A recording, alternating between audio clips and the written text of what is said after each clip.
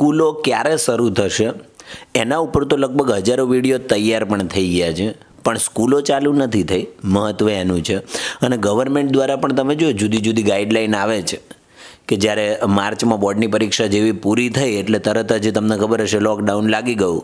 અને પછી ન્યૂઝમાં આવેલું હવે છઠ્ઠા મહિના જૂનમાં આવશે. પછી આ ઓગસ્ટમાં ખુલશે. પછી હવે ધીમે ધીમે એકવીસ નવે સ્કૂલ ખુલશે. પછી ધીમે ધીમે એનાથી આગળ વધ્યું. ત્રેવીસ નવેમ્બરે ખુલશે દિવાળી. પછી મા કસમ ત્રેવીસ નવેમ્બર આવી. ત્યાં તો બે દિવસનું લોકડાઉન આવી ગયું. હજી સ્કૂલો તો ખુલી નથી. હવે ન્યૂઝમાં આપ્યું છે કે હવે જાન્યુઆરીમાં ખુલશે એટલે કદાચ એ ખુલી શકે. પણ હજી એ પછી ઘણા માર્ચનું પણ કહે છે ને ઘણા તો માસ પ્રમોશનનું પણ કહે છે એટલે બધા લોકો વીડિયો બનાવી, પોતપોતાની રીતે સ્કૂલો ખોલવા વિશે માહિતી આપે છે. સરકારને તો ખબર જ નથી કે આપણે ક્યારે સ્કૂલ ખોલવાની જ તો મિત્રો તૈયાર થઈ જાઓ. આજના પાર્ટમાં આપણે સ્કૂલ ક્યારે ખુલશે એના માટેના એકદમ સિરિયસ સવાલોના કોમેડી જવાબો આપણે જોવાના છીએ. પણ આ શરૂ કરતાં પહેલાં તમને જાણકારી આપી દઉં કે કોઈ પણ વ્યક્તિ આ સવાલ કે જવાબો પોતાના ઉપર ના લે. આ માત્ર ને માત્ર કોમેડી પૂરતા જ છે. બધાને રમવા પૂરતા છે, ખુશ થવા પૂરતા છે. તો બધા લોકો પોતાના ઉપર કોઈ ના લે. ચાલો આપણે વિડીયોની શરૂઆત કરીએ.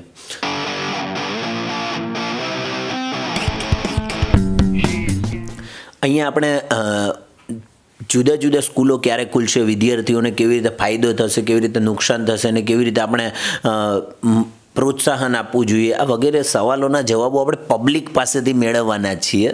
તો અહીંયા આપણે પબ્લિકને બોલાવવાના છીએ. જ્યારે પબ્લિક છે. હાય.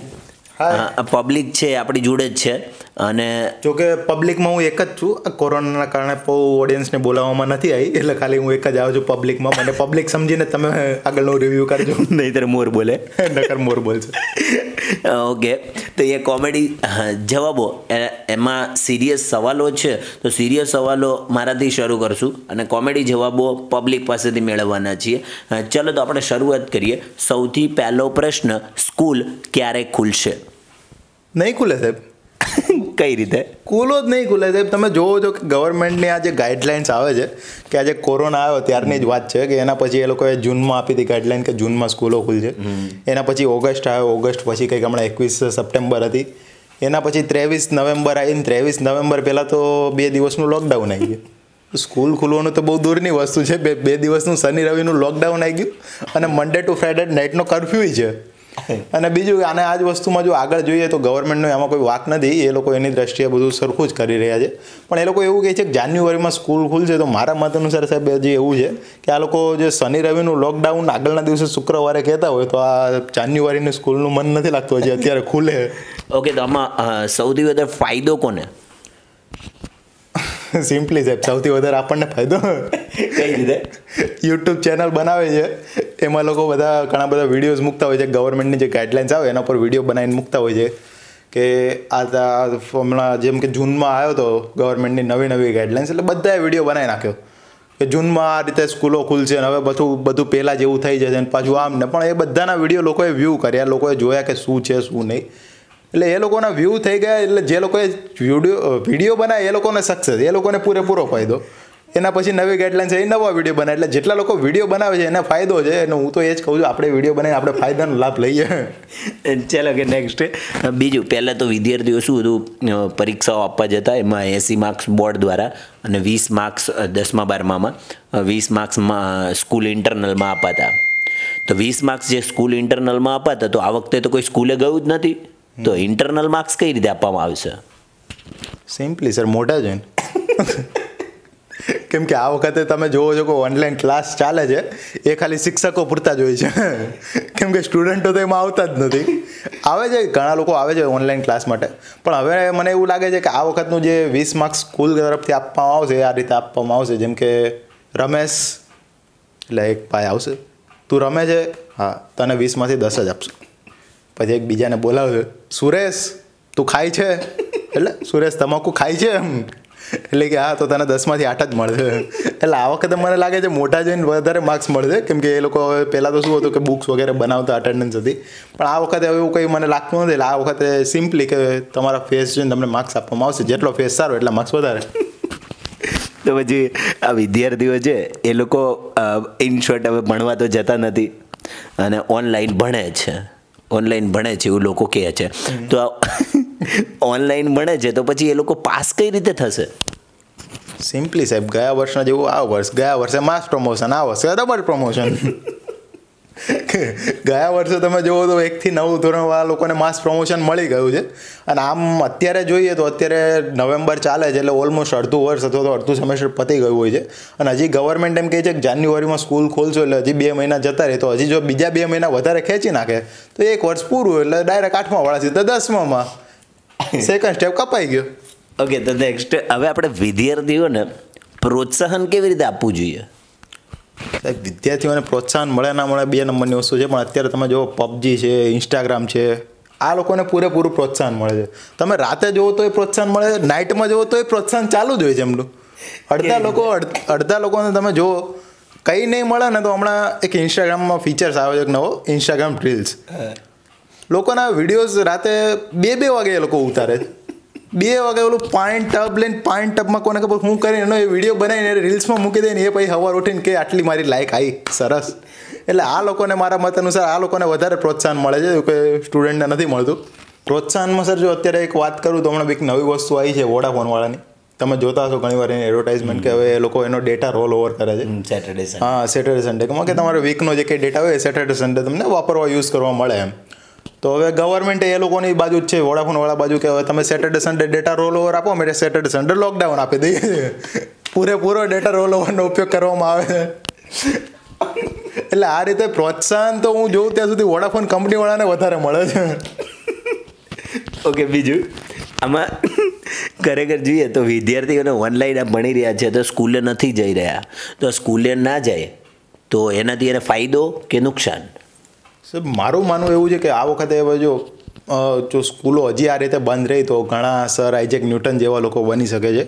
કેમ કે જો તમે હિસ્ટ્રી ખોલીને જુઓ તો સર આઇજેક ન્યૂટન જે છે એમની હિસ્ટ્રી એવું કહે છે કે જ્યારે એમના સમયમાં પ્લેગ નામનો કંઈક રોગ હતો અને એમના દોઢ બે વર્ષનું આ રીતનું કંઈક લોકડાઉન હતું. તો લોકડાઉનમાં જે સર આઇજેક ન્યૂટને કંઈક બહાર ગયા હશે ને ઉપરથી એને સફરજન પડ્યું ને એણે ન્યૂટનનો નિયમ બનાવી નાખ્યો જે અત્યારે બધા ભણે છે.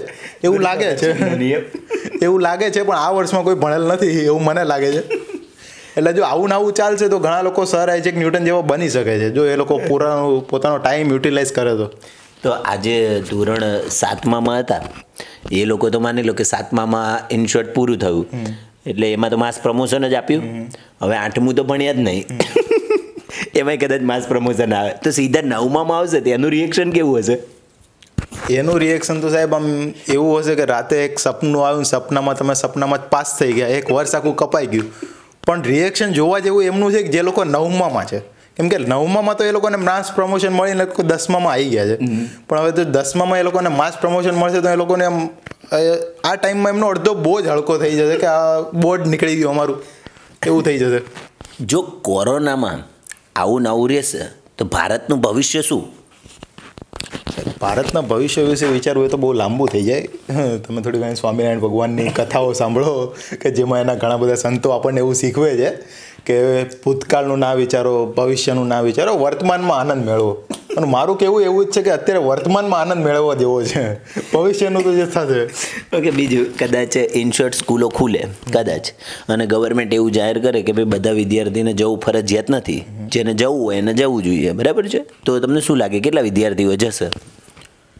સર એમાં એવું છે કે પહેલાં વિદ્યાર્થીઓ જાય એની પહેલાં શિક્ષકોએ જવું મહત્વનું છે. કેમ કે અત્યારે ઘણા બધા શિક્ષકો એવા છે કે જેણે પોતાનો ફિલ્ડ જ ચેન્જ કરી નાખ્યો છે. એટલે આમાં તો શું છે કે સ્કૂલો ખુલે તો પહેલાં શિક્ષકોએ જવું જોઈએ શિક્ષકો પછી તો થોડા ઘણા સ્ટુડન્ટો આવશે. અને પછી પ્રેમીઓ તો આવશે જ. કે જે શિક્ષણ પ્રેમી હોય એ લોકો સ્કૂલે આવશે જ એમ. ઓકે બીજું. આજે ગવર્મેન્ટે ત્રીસ ટકા કોર્સ રિડ્યુસ કર્યો છે અને સિત્તેર ટકા પૂછાવાનો છે. ત્રીસ ટકા તો રિડ્યુસ કરી દીધો છે. પચાસની તો ડિસ્કસ ચાલે છે, થઈ જાય તો સારું છે. પણ ત્રીસ ટકા કોર્સ રિડ્યુસ થયો એના વિશે તમે શું કહેશો?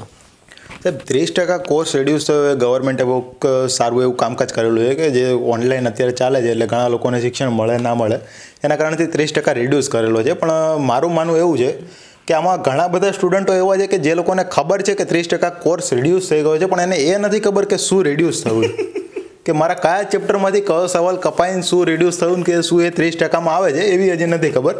અને મારે એક ઉદાહરણ કંઈક એવું છે કે જો તમે માનો કે તો નાના જે છોકરાઓ છે, એને તો સો એ સો ટકા કોર્સ રિડ્યુસ જેવું જ છે. નાના છોકરા છે ને સો ટકા કેવી રીતે? સાહેબ, તમે જોવો છો કે જ્યારે આપણે પાંચ વર્ષનું જે બાળક હોય છે, એને આપણે ત્રીજા જ અથવા તો ચોથા વર્ષમાંથી સિનિયર કેજી જેને જુનિયર કેજીમાં મૂકી આવતા હોઈએ છીએ. પણ અત્યારે બાળક પાંચ વર્ષનું થઈ ગયું છે આ લોકડાઉનના કારણે, અત્યારે હજી એના પેરેન્ટ્સ એને શીખવતા હોય છે, બચ્ચા, એ ફોર એપલ. જે હજી એ લોકોને સ્કૂલે કે આ રીતે જવાનો લાભ નથી મળ્યો, એટલે એ લોકો માટે તો સો સો ટકાનું રિડક્શન મારું માનવું છે. બીજે આજે વિદ્યાર્થીઓ અત્યારે સ્કૂલે જાય છે. નથી જતા ઓનલાઈનની વાત છે. તો ઓનલાઈન જે વિદ્યાર્થીઓ ભણે છે સ્કૂલમાંથી બરાબર છે? એ લોકોને એવું કીધું છે સ્કૂલમાં ચોપડા બનાવવાના લખવાના અને ચોપડા બનાવીને તૈયાર કરવાના. એના વિશે શું કહેશો? સાહેબ તમે સ્કૂલમાં ચોપડા બનાવવાનું જે અત્યારે ઓનલાઈનનું છે કહો છો પણ હું એમ કહું છું કે જ્યારે લોકો સ્કૂલમાં જતા ત્યારે પણ એ ચોપડા નહોતા બનાવતા. તો અત્યારે તો બહુ દૂરની વસ્તુ રહીને આમાં જો તમે એક અગાઉનું થોડીક વિચારો તો જ્યારે ગવર્મેન્ટે ના જે નવમાવાળા લોકો હતા એમને માસ પ્રમોશન આપેલું છે નવમા વાળા અને અગિયારમા તો એ લોકો માસ પ્રમોશનમાં એટલા ખુશી છે કે એ લોકોએ જે દસમા અને બારમાના ચોપડા વસાયા જ નથી. તો એ ચોપડા શું બનાવશે? બીજે આજે અત્યારે સ્કૂલો અને ક્લાસીસોમાં બધી જગ્યાએ ઓનલાઈન પરીક્ષા લેવાય છે. ઓનલાઈન એમ કે ચાલુમાં પરીક્ષા લેવાય. તો ઓનલાઈન પરીક્ષા વિશે શું કહેવું? સાહેબ ઓનલાઈન પરીક્ષા અત્યારે બહુ સિમ્પલ છે અને મારું માનવું એવું છે કે જેટલી જો ઓનલાઈન પરીક્ષા લેવાય તો એમાં બધાને સોમાંથી સો આવે. કેમ પૂછો તમે ખાલી? કેમ?